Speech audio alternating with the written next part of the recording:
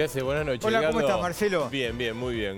¿A qué semanita, no? ¿Qué Este semanita y, y cómo, cómo va a terminar? A full, Oh, ¿no? Me imagino que sí, con todo, ¿no? Con diálogo, con Cristina, con, Con dólar, con dólar, con con, todo, Trump, con con Trump, todo. todo. No falta En- nadie en la fiesta. En instantes eh, está llegando ya a los estudios de A Dos Voces. Eh, Lustó, ¿eh? En instantes Martín Lustó eh, y la situación política y la situación económica vamos a hablar con él. Él propone una cosa que pa- parece bastante difícil.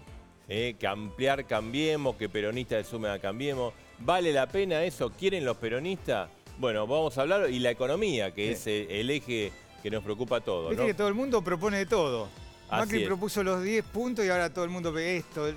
Así que si querés proponer que estás en la semana para proponer cosas. Eh, también la opinión de todos, de todos los que han eh, sido convocados por el gobierno para el acuerdo. Eh, la vas a tener acá, del propio Labaña, de Massa, de Scioli, eh, bueno, de, de todo, de todos los que están. Salvo la persona va a hablar mañana. Va- ¿Dirá mañana, le dirá algo a Macri y le Claro, responderá? eh, porque la consultamos y su vocero dijeron que no, que no, no iba a responder. Sí. ¿eh? Así que tenemos mañana. toda la información y eh, además, bueno, vamos a, a tener, está mucha gente en las voces. Sí. ¿eh? Además Está de Martín Lustó, ya Carlos está Espadone, Espadone. eh, vamos a hablar, acaba de elaborar un libro, pero está activo Sí. políticamente, Dirigente una voz del peronismo. empresario, a ver, a lo, lo conoció a Perón. De Perón a Cristina, le vamos a preguntar qué quedó el peronismo. Claro, le voy a preguntar si Cristina es la nueva Perón. ¿Sí? Sí. Viste, porque va por la tercera presidencia, ¿no? Sí. Laura Dinamarco, que fue la primera persona que escribió un libro sobre Cristina Fernández de Kirchner, eh, vamos a estar con ella. Eh, también ya está José María Muscari. Eh, queremos Director, ver. productor. ¿Sabes qué? Los artistas, los directores son muy sensibles a la realidad y por eso queremos preguntarle a él cómo está viendo todo. Hay muchos de la colonia artística que están este, diciendo no me alcanza para llegar a fin de mes. Vos fijate los últimos dos programas de A Dos Voces, Marcelo, cómo repercutió la presencia de artistas acá. Así es. Y también va a estar la Tota Santillán, Sí, que dice claro. que no, no le alcanza Sí. para vivir. Pero la noticia eh, de acá al fin de semana va a Sí. estar mañana en la Feria del Libro. Sí, porque Cristina Kirchner va a presentar su libro, sinceramente, que se convirtió, Marina, ¿cómo estás? En un acto político realmente. Va a ser un acto político, ¿no? Va a ser prácticamente un acto político lo que ocurra mañana en la Feria del Libro. Tenemos todos los detalles. Te vamos a contar qué trae Cristina, qué es lo que se viene eh, para el día de mañana. ¿Cómo va a ser? ¿Quiénes son los invitados? ¿Cómo va a ser el ingreso? Te voy a contar hasta qué, hasta qué va a estar cortado. Prepárense para un día de caos. Están esperando una gran, gran ¿Cómo, cantidad digamos, de micros. A ver, incluso. todo el mundo está pensando cómo va a ser Sí. eso y, y vos tenés todos los detalles. Bueno, lo vamos eh, desarrollando. ¿Querés que lo hagamos ahora? Sí, dale, vamos vamos ahora, a hacerlo dale, ahora. dale. Este es el operativo, sinceramente, lo que va a ocurrir el día de mañana. Todo empieza a las 8 de la mañana. A las Bien. 8 Ah, tempranito. van a empezar a montar el escenario. A partir de las 8 no podés pasar más. Sarmiento entre Colombia y Santa Fe, cortada Cortado. desde las 8 de la mañana, que es cuando empiezan a montar el escenario. ¿Se esperan 20.000 personas? Yo creo que nadie sabe exactamente cuántas personas van a ir. Yo creo que se va a quedar corto el 20.000 personas. En principio este era el número porque Cristina había pedido que no movilizaran. No le dieron bola, No, van a A ver, movilizar ahí igual. tenemos el predio, ¿no? Eh, Sí. Ahora vamos a ver cómo, dónde está eh, la, la pantalla gigante. Este es el está. punto central, porque esto es lo que, lo que va a dar dimensión de multitud. Cristina va a estar adentro del pabellón eh, Frers, en la sala se llama Jorge Luis Borges, en un ratito te la voy a mostrar, pero va a haber una pantalla afuera, sobre calle Sarmiento, la pantalla de la polémica, pues de- del gobierno de la ciudad tuvo que intervenir seguridad, transporte y espacio público.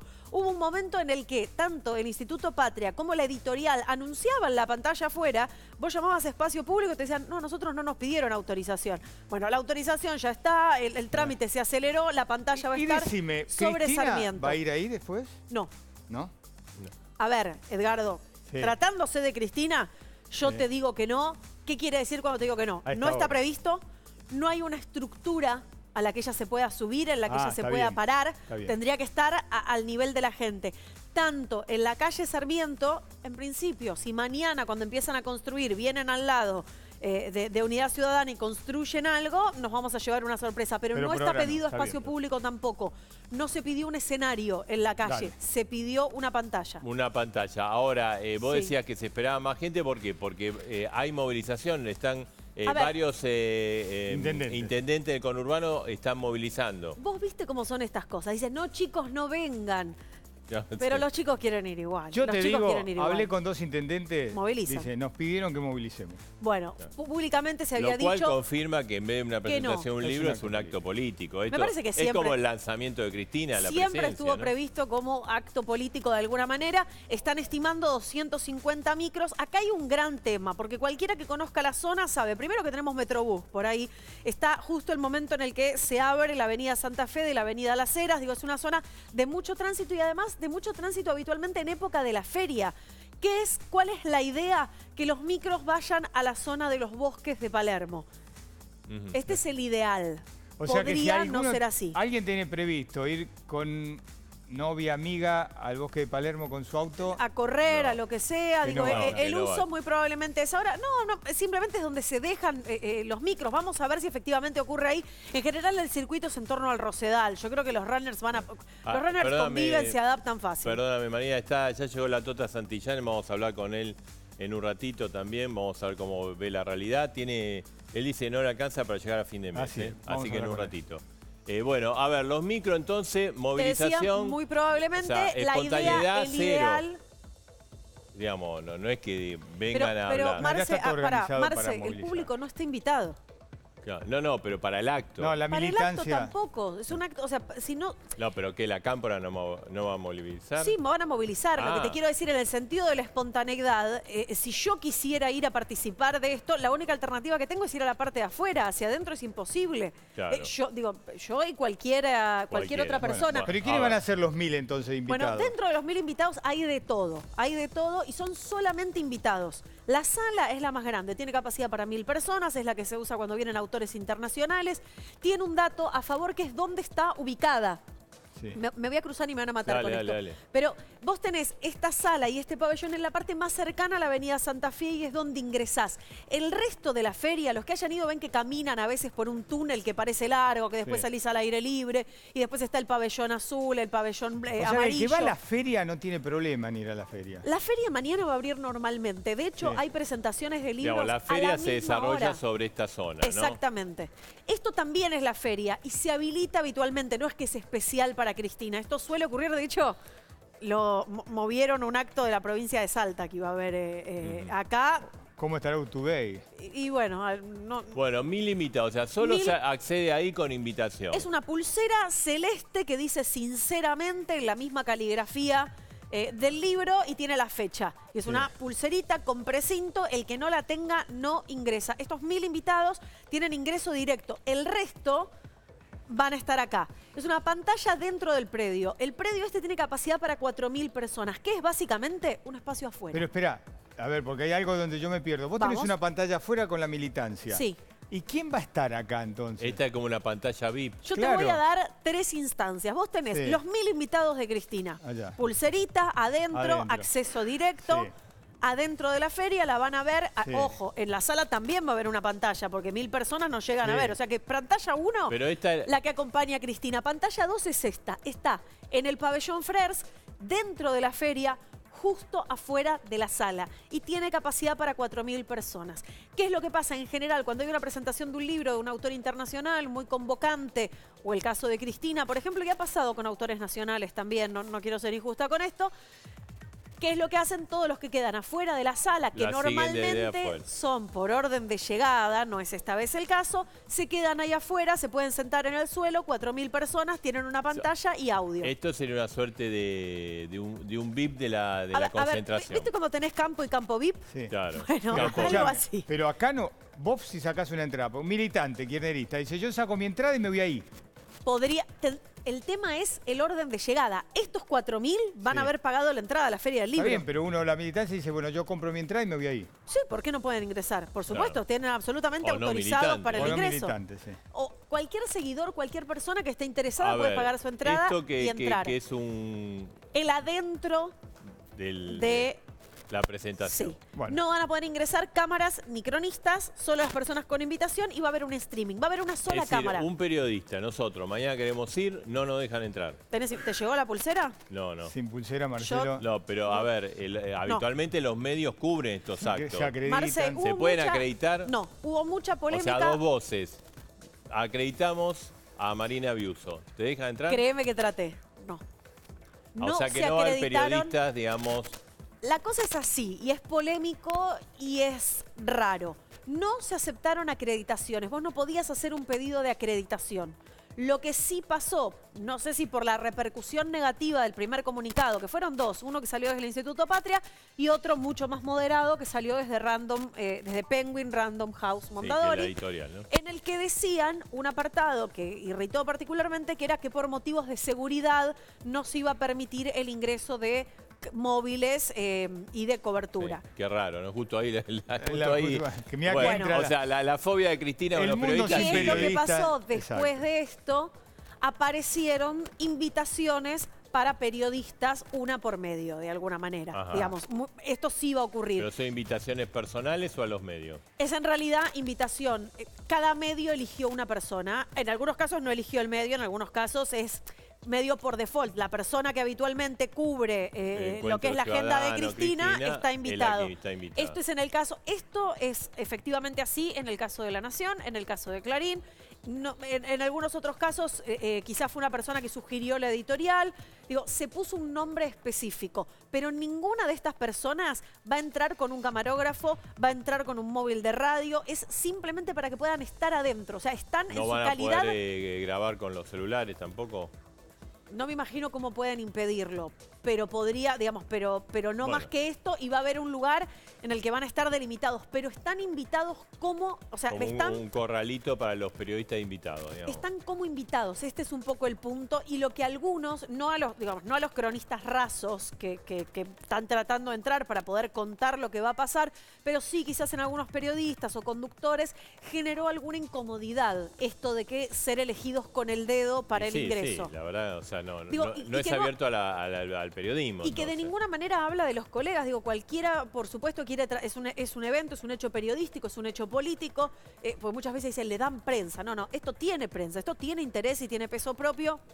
Muchos queremos, o sea, cualquiera que quiere tener ese acceso. Muchos Y- colegas se sintieron incómodos por este tipo de Sí, sí, invitación. claro. Y decime una cosa, los que eh, los invitados, ¿quiénes, quiénes serían? Hay de todo, Marcelo. Hay de todo y para todos los gustos. Tenemos una lista para, ver. para repasar muy breve. Dolina, por ejemplo. bien. Estos son invitados, no quiere decir que efectivamente vayan. Sí, bueno. Pero están si invitados. Ver, parece que nadie se quiere perder estar ahí. ¿eh? Estela de Carlotto, Sí. por supuesto, está dentro de las invitadas. Alberto Descalzo, que empezamos con la lista de, de intendentes afines. Te digo una cosa, los intendentes están desesperados porque ninguno quiere quedarse afuera. Dice, si nosotros movilizamos, queremos tener un lugar de privilegio. Fernando Grey, mira, ya lo tienen que tener la pulsera. Hoy- Hoy hace un ratito la, el presidente Del PJ bonaerense. PJ bonaerense, ¿no? una de las piezas que va a movilizar mañana y que estuvo gestionando. eh, muchos ya mostraron la pulsera, eh, ya la Sí. tienen. Bien. Martín Insaurralde, otra de las figuras que, que va a estar eh, y que, que lleva. no, ojo que es sin más uno, eh, estás invitado Sí. a título personal. Axel Kisilov. El candidato a gobernador de Cristina. ¿Qué lío que hay en otro programa? Vamos a hablar. El lío que hay en candidato a gobernador de Cristina. Obviamente junto al resto de la cámpora, Sí. ¿no? Mario Weinfeld, una, otra de las personas invitadas. Hablábamos de periodistas, Horacio Berbisky. Ricardo Forster, todo esto como del arco intelectual. Hay muchos artistas también invitados. Sí. No están confirmados, pero se supone. Alberto Kornblit, el científico. Adrián Paenza. Oscar Parrilli. Oscar Parrilli no solo es un invitado, es prácticamente el organizador junto a Alberto Fernández. Estuvo diseñando la es lista. como el secretario privado de Cristina. No, pero además así. estuvo muy atento de verdad Este, al no, no armado le digamos de la Alberto lista. Fernández a este porque No, No, no, Aníbal, Aníbal no, Fernández, no, no. Aníbal, Aníbal. ah, sos Aníbal, Aníbal sos No, no, Aníbal, Alberto es otro. Bueno, pero ahora que volvieron Alberto a es estar, el para, para, vocero. ahora que volvieron a estar del Claro, mismo lado, sí, la sí. confusión no es, tan, no es tan severa. Alberto es el vocero de Cristina. Sí. Carlos Zanini, por supuesto, no podía, no podía no figurar dentro de la lista de invitados. ¿Eh? Gerardo Oh. Romano, falto yo. Ah, falto ¿qué yo. hace Volvió Gerardo otra Gerardo. vez? ¿Cómo están? Buenas noches. Le gustó ahora. estar acá, la repercusión que tuvo. mira, ¿eh? les quiero decir una cosa porque estuve la semana pasada y ustedes saben que estoy ahí en el teatro. Eh, Marcelo me fue a ver al Chacarera, estoy haciendo todos los sábados a las 20, un judío Sí. común y corriente. Vos no fuiste, Gorila, Cipayo, Alfano. Se me llenó la sala de venezolanos. Sí. Entonces se me generó un problema ¿Y porque me empezaron a cuestionar. Entonces, nada, tuve que ahí cagarlos a trompadas. No, Porque, ¿cómo? Eh, y sí, porque empezaron a cuestionarme y a, y a decir que yo estaba a favor de Maduro. Yo no estoy a favor de Maduro, estoy en contra de la intervención norteamericana. Sí.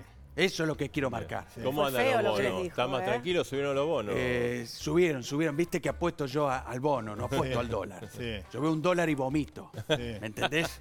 Porque yo soy como dice Perón. Soy nacional y popular, como decía el general Perón. Bien. ¿Entendés? Muy bien. ¿Eh? Bueno, ¿no se va? ¿Se queda? Yo voy a seguir opinando acá si me dejan, si no me Sí, censuran. si no, opina como solo hacen igual ustedes. ustedes, sí. No, ustedes todo el tiempo quieren dirigir y a mí la única que me da órdenes es la jefa. O Perón desde el más allá. Sí. ¿Entendés?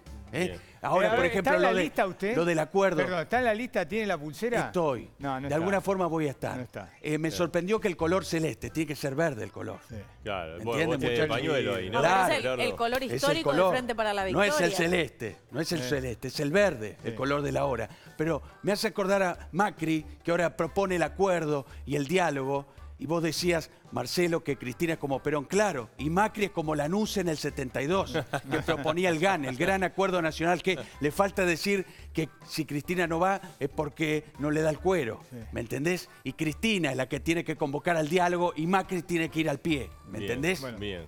El ¿Cómo está, dictador de Macri, Gerardo. totalitario de Macri. ¿Tiene pulserita o no tiene pulserita? Sí, por supuesto, mirá, esta, la del color que vale. Escuchame. Ah, claro. Pero no te van a dejar favor. entrar mañana. ¿eh? Eh, yo voy a entrar porque tengo pelota. Yo le di un beso en la boca a Rodolfo Rani en el 92, así que tengo pelota. ¿Me Bueno. entendés? Bueno, no se vaya, eh, Gracias, rato. Gerardo. Bueno, lo, lo habíamos prometido, está Martín eh, Lustó, también eh, flamante escritor, presentó Sí. el libro con, con mucha... ¿Cuánta gente fue el, el domingo? Mucha gente hubo. Sí, es una, la sala Borges es una sala grande. eh, creo que tiene capacidad para mil personas sentadas. Había quizá 200 parados y había gente afuera, también en una pantalla. Otro tipo de convocatoria. Lustó, eh, la, hablando de convocatoria, la convocatoria de Macri con los 10 puntos, ¿corrió el eje de la discusión o de la tensión sobre la economía en este país? No, no me parece. Me parece que la discusión de la economía, primero, la economía es una realidad. Entonces la realidad te toca la puerta todos los días. Entonces es imposible que ese eje se corra, por lo menos de las vivencias cotidianas de los argentinos. Me parece que lo que, lo que planteó, quizá de una manera que a otros nos hubiera gustado ver que se plasmara de formas diferentes, pero planteó la necesidad y por primera vez el reconocimiento en cierto grado del gobierno nacional de que es necesario convocar algo más amplio para abordar los problemas y los desafíos que tiene Argentina pendientes, tanto los coyunturales como los estructurales. Y que sin diagnóstico y sobre todo sin una bajada pormenorizada de qué implican los acuerdos, más allá de la anunciación de algunos puntos, mm, tampoco los podemos abordar. Eh, este, estuvo varias veces reunido con Macri últimamente. Por lo menos se conocieron tres o cuatro, no sé si, si hubo más. Eh, ¿Qué le dice a Macri y qué le dice Macri? A ver, eh, lo que yo digo lo puedo contar eh, porque no es muy distinto de lo que digo públicamente. El tenor del intercambio con el presidente no porque es una materia reservada entre dos personas, particularmente una de ellas que es el presidente de la nación. Yo tengo un diagnóstico de hace mucho tiempo de que los problemas que tiene Argentina tienen una raíz estructural mucho más profunda y que nosotros tendemos a ver los síntomas, síntomas que se repiten. Inflación, endeudamiento, déficit, falta de crecimiento, crecimiento anémico, incapacidad de generar puestos de trabajo en blanco, endeudamiento, suba la pobreza, la desigualdad, yo creo que eso tiene un origen en otro lugar. Me parece que para abordar la coyuntura, es decir, los problemas que vemos hoy, si uno no tiene claro cuál es el inconveniente estructural, los aborda de manera equivocada. Yo otra vez daba un ejemplo, que es que sabemos cómo lidiar cada uno de nosotros cuando tiene hambre, tiene que comer hasta saciarse, pero no es lo mismo si uno tiene hambre en su casa mirando televisión que si uno es un náufrago en una isla, no aborda el consumir comida de la misma manera porque no sabe si la tiene mañana. Entonces, cuando viene la coyuntura, si uno no tiene claro el diagnóstico estructural, es muy probable que aborde la solución de la coyuntura mal. Entonces, yo trato de conversar de estas cosas. cada vez que voy a reunirme con gente de gobierno. ¿Le hace caso porque es cabezadura el presidente? Dicen. Bueno, es que la decisión final de qué rumbo toma le corresponde a aquella persona que fue votada por la mayoría de los argentinos, que es el presidente de la nación, en este caso el ingeniero Macri. Lo que todos nosotros debemos hacer, y me parece que eso no debería sorprender, porque además yo lo he hecho siempre, es intentar contribuir, sobre todo cuando uno tiene un diagnóstico distinto. Y la verdad es que mm, en lugar de leer eso, estamos siempre preguntándonos si juntarse con el que piensa distinto es que uno cambió su manera de pensar, eh, adopta el partido del otro. No, es una manera de contribuir a algo que la verdad que requiere muchos esfuerzos, requiere una capacidad de convocar a una escala más grande. Argentina hace 45 años que es el segundo país que menos crece del mundo. Al ritmo que viene creciendo la Argentina va- vamos a necesitar más de un siglo para duplicar el ingreso por habitante. Hoy la pobreza es seis veces más que hace 45 años, la desigualdad es el doble. Entonces es un fracaso colectivo muy importante, particularmente de la clase dirigente y dentro de la clase dirigente la clase política. Entonces, si no somos capaces de reunirnos para reconocer eso y encontrar cuáles son las causas más profundas, dónde equivocamos el diagnóstico y cómo salimos, es muy difícil encontrar o ponerse optimista con la Argentina. Y yo soy optimista con la Argentina, pero a, partir de un diagnóstico muy crudo de lo que nos pasa. Ahora, Martín, eh, el presidente hasta hace poco, hasta, esto de- del diálogo que convocó, decía, estamos en el camino correcto, hay que perseverar, aguanten. Este, medio raro eso, ¿no? ¿Estamos en el camino correcto? Primero, eh, ¿a ustedes les parece que estamos en el camino correcto? A mí no. No, por Bueno, los y ahí- resultados de la economía. Y es evidente que hay un porcentaje muy grande de la población mayoritaria que piensa lo mismo, de la misma manera que hay un porcentaje mayoritario de la población que piensa que el camino de Cristina Fernández de Kirchner tampoco era correcto. Entonces la pregunta es cómo abordamos una etapa nueva, porque si no nos quedamos atrapados en algo, si alguien dice que es el mismo camino, es el mismo camino que se inició hace cuatro años que no funcionó. Y la expresidenta es el mismo camino que se inició hace 12 años y que tampoco funcionó. Sí. Entonces me parece que hay que, otra vez, tener otro tipo de diálogo y bajar a una profundidad del diagnóstico que requiere conversar con el otro. El presidente me parece que está dando muestras en las reuniones, cuando convoca, de no estar completamente satisfecho con cómo están las circunstancias. Y creo que tiene razón en no estar satisfecho. Eh, y me parece que hay iniciativas que uno las puede, le pueden gustar más o menos, pero el deber de todo el resto de nosotros es aprovechar esas iniciativas como puntapié inicial para un diálogo más grande. Porque si el gobierno tiene 10 puntos, lo que no podemos hacer es contestarle con otros 10 puntos. Me parece que lo que hay que hacer es empezar a bajar en concreto qué significa en la práctica para la ciudadanía acordar determinados puntos. Voy a poner un ejemplo, porque si no son solo enunciaciones. El gobierno quiere equilibrio fiscal, pero hoy tenemos déficit, entonces hay que subir impuestos o bajar gastos. Después dice que quiere bajar impuestos, con lo cual eso quiere decir obligatoriamente que tenemos que bajar gastos. Y al mismo tiempo tenemos que cumplir con obligaciones financieras internacionales crecientes. Entonces, sin ninguna duda tenemos que bajar gastos. Y estoy seguro que el resto del arco político piensa lo mismo. El tema es cómo nos sentamos a ver qué gastos bajamos, cuáles son prioritarios y cuáles no son ¿y qué prioritarios. impuestos se suben y cuáles se bajan? Sí, yo diría, en primer lugar, hay que bajar la presión tributaria. Mi opinión de lo que está pasando en la Argentina es que esta es una crisis de administración del Estado, es decir, nosotros tenemos una clase política que en lugar de pensar rigurosamente el Estado lo desordena y que ya eso ha tenido tres manifestaciones distintas. La primera fue la hiper, es decir, no podíamos financiar el Estado y terminamos emitiendo dinero a lo pavote y terminamos con dos hiperinflaciones. La segunda es el default, no podíamos financiar el Estado y terminamos pidiendo tanta plata que no la pudimos pagar. Y la tercera es esto en donde el nivel de presión tributaria o el aumento de la presión tributaria para financiar el Estado te ahoga y no te permite producir. ¿Y cómo se compensa? Porque también bajamos los impuestos. Porque en general se compensa afectando a la gente, ¿no? En este país. Pero yo creo que hay un montón de rubros que no son así. En primer lugar, yo creo que, eh, por ejemplo, cuando el kirchnerismo dice, ah, yo lo escuchaba ayer a Máximo Kirchner decir, eh, tenemos que hacer cuatro acuerdos, el desayuno, el almuerzo, la merienda y la cena. Sí, la pregunta es cómo. Cuando el kirchnerismo dice, todo, toda persona mayor en la Argentina tiene que ganar suficiente ingreso para poder vivir dignamente, yo digo, sí, perfecto, ¿cómo? Seguro que no es haciendo las moratorias como las hizo el kirchnerismo, porque lo que hizo es tener un sistema de financiado.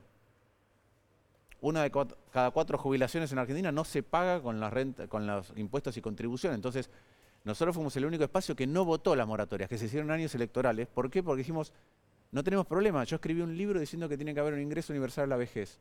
Pero no se puede tocar el 40% del gasto público sin un solo cálculo de hacia dónde va el sistema previsional. Igual que pasó con las pensiones no contributivas, igual que pasó con las pensiones por invalidez. Entonces, ¿necesitamos pensiones por invalidez? Sí, necesitamos que las cobren aquellos que, no, que tienen un grado de invalidez, no cualquiera. Porque si no, falta la plata en otro lugar. Entonces, me parece que peinando los gastos vamos a encontrar algunas cosas. Esas ordenan el futuro, porque el sistema previsional, en este sentido, es el 40% del gasto público. La obra... que el gobierno no lo peinó, el gasto? No, yo creo que heredó eso y no, no, pensó, pensó que la situación era más fácil, o subestimó la realidad o sobreestimó sus capacidades. La obra pública es otro gran rubro. Obra pública, más subsidios, no la UH, obra pública, más subsidios, más sistema previsional, 7 cada 10 pesos que se gastan.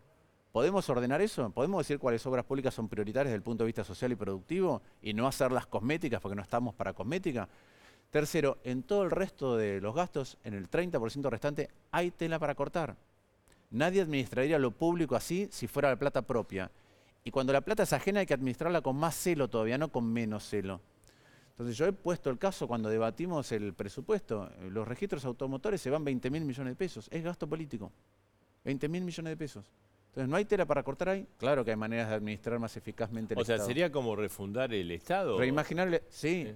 Argentina necesita reimaginar su Estado. Nosotros tenemos la ilusión, y yo creo que esta es una ilusión compartida a veces en otras sociedades, solo que tienen mejor clase dirigente y mejor instituciones más afianzadas, pero nosotros tenemos la, la sensación de que el Estado es algo que nos compete a los argentinos, pero que no está compitiendo con otros estados. Pero es mentira, vos cada vez que salís a exportar, cada vez que competís con un bien importado, la mitad, el 56% en promedio de tu, costo de producción son impuestos. Quiere decir que tu Estado está compitiendo con otros Estados, con el Estado de Corea, con el Estado de Colombia, con el Estado de México, con el Estado de Chile, con el Estado de España, con el Estado de Portugal, con el Estado de China. La pregunta es, ¿tu Estado es mejor o peor? Si tu Estado está empeorando con respecto a esos estados, entonces te cuesta mucho exportar. Si te cuesta mucho exportar y además te cuesta competir con importaciones, lo que ocurre es que la economía no crece. Por eso que es un Estado que empeora y una economía que no crece hace 45 años. Entonces la pregunta es, ¿somos lo suficientemente maduros y crudos con el diagnóstico para abordar una discusión profunda de eso? No 10 puntos, una discusión profunda de cómo lo vamos a hacer. Lo, que pasa... Y, perdón, y además, ¿creamos coaliciones políticas lo suficientemente convencidas de compartir el costo de esas discusiones y decisiones mañana? Entonces, por eso que nosotros proponemos que hay que ir a un espacio superador de Cambiemos. Por eso que también hacemos diagnóstico por escrito, porque cuando uno peina el diagnóstico y uno ve la hilación lógica de los argumentos y los datos, alguien puede venir y te puede decir, mira, yo leí esto, está mal por esto, por esto, por esto. Y la discusión se hace más seria.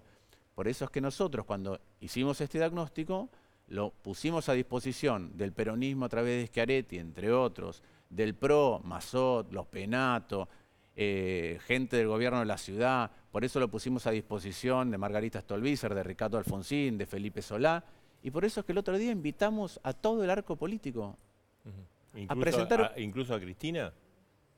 No a, Cristina, pero yo invité claramente a algunos actores dentro del kirchnerismo que cada uno, y yo confío en su buena fe porque lo he hablado posteriormente, tenían un compromiso. Pero yo invité a Filmus, a Tayana, a Ginés, a Felipe Solá, a Grabois.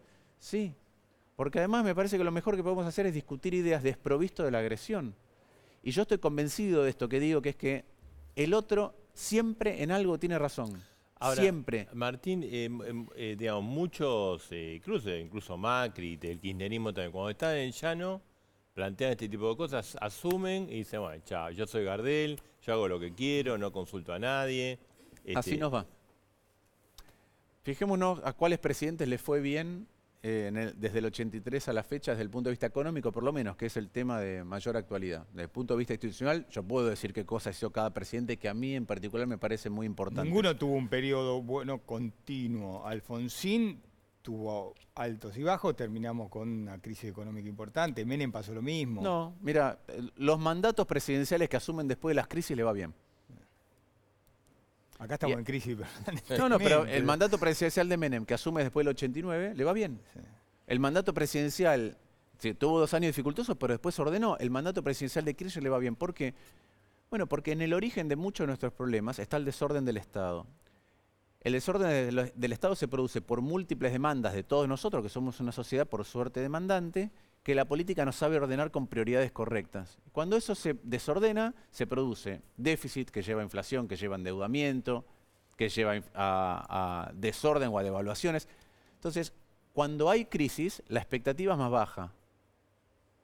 Partís de un, de un inicio en donde las cosas que te impedían crecer las borra, lamentablemente, con un costo muy importante en el tejido social, las crisis. Entonces a esos presidentes al principio cuando ordenan les va muy bien, les va muy bien en lo económico, les va muy bien en lo político. Pero es como que después eso se agota. O sea, no Porque hacen hay- cambio, no aprovechan hay- el momento. Porque no hay, Argentina tendría que aprovechar para abordar, y yo creo, por ejemplo, creo que eso Labaña lo dice bien, cuando contesta, a mí no me gustó la primera respuesta de Labaña a los 10 puntos, que yo tengo mis 10 puntos. Pero la segunda carta, que es muy pormenorizada, dice algunas cosas. Por ejemplo, yo creo que Argentina necesita discutir una reforma laboral. ¿Por qué? Bueno, tenemos convenios colectivos que tienen posiciones que ya no existen, que son de hace cuatro o cinco décadas. Ahora es muy difícil discutir una reforma laboral cuando no se crece. ¿Por qué? Y porque todos nos queremos proteger. Entonces, no discutimos cómo cambiamos las reglas de interacción entre nosotros para que nos vaya mejor. Discutimos cómo nos modificamos lo que ya tenemos. Hoy hacer una reforma laboral y previsional parece imposible en este país. Sí, sí, en este contexto. Yo creo que hay que Sí. crear el contexto político y el contexto económico para poder discutir cómo, cómo nos creamos herramientas para que el futuro sea mejor. Si lo que estamos haciendo es discutirlo en emergencia, entonces no va a funcionar. Eh, Martín, eh, estuvimos eh, consultando a, otro- a todos los dirigentes políticos que está convocando Macri. Eh, los tenemos, lo vamos a compartir. Un segundo. A ver.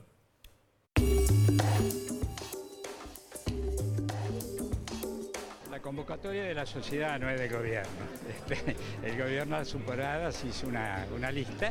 Pero bueno, en todo caso está bien. Ahora ya está sobre la mesa esa lista de temas que puso el gobierno. Está el trabajo completo que hizo Consenso 19, que hicimos nosotros. Y seguramente aparecerán otros más. Así que vamos a ver cuál es el camino que se elige ahora. Me parece interesante la convocatoria. Si el presidente convoca, lo hizo a través de una carta. Yo voy a asistir, lo he manifestado el primer día. Hay muchos puntos en debate. Creo que hay algunos que son de debate electoral o de contenido electoral que tiene más que ver con el, el futuro inmediato de las elecciones. Pero lo importante me parece que es dialogar.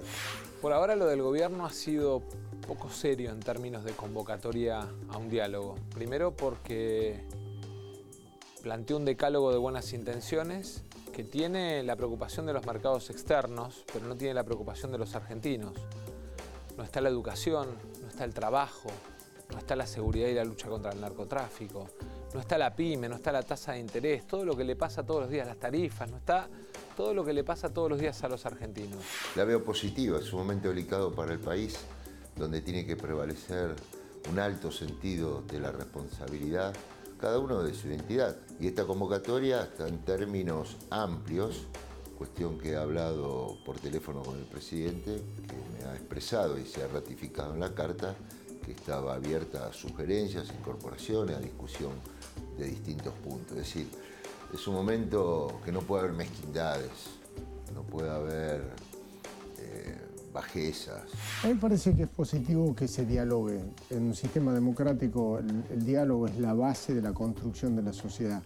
Hubiese sido mucho mejor que esto suceda hace tres años y medio, que podamos hacer, aprovechar este tiempo para hacer un gobierno con mayores consensos. Pero bueno, más vale tarde que nunca, por eso eh, yo acepto toda invitación a diálogo, provenga de quien provenga, en la medida en que sirva para ver arrimar posiciones en una Argentina que nos va muy mal. Están todos, todos quieren el diálogo, pero bueno. Parece difícil poder llegar a un acuerdo en un año electoral, porque usted tiene a todos los candidatos, precandidatos presidenciales, más los gobernadores, más la iglesia, más los sindicatos, más los empresarios. En un año electoral, ojalá se pueda hacer, pero no es fácil.